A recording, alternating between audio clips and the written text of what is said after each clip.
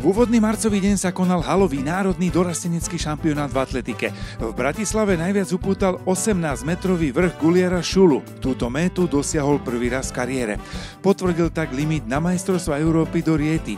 Za výborný výkon môžeme označiť aj fotulovej prekážky na 60 metrov za 8,84, či meškala na národný rekord zapletalovej iba 6 stotín.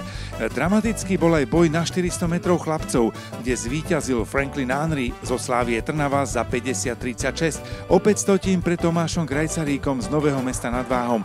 Obaja tesne zaostali za limitmi, ale keďže sú dorastie iba prvý rok, sú veľkým prísľubom pre EOF 2021. A treba spomenúť určite aj dva tituly trojice Filip Federič, Renata Vodňanská a Andrea Švecová.